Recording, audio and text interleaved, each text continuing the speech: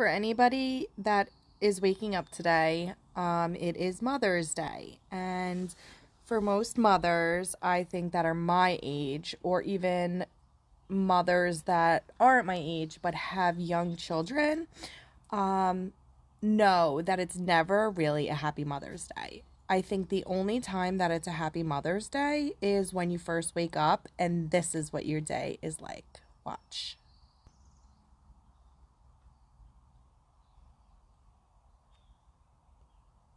You hear the birds chirping? You don't hear any kids.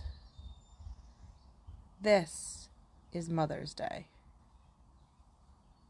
In about 20 minutes, you will hear kids coming up to me asking me for things. Maybe five minutes. Kids coming up to me asking me for stuff. Happy Mother's Day. Why do they say Happy Mother's Day? Why don't they just say just another day of being a mother?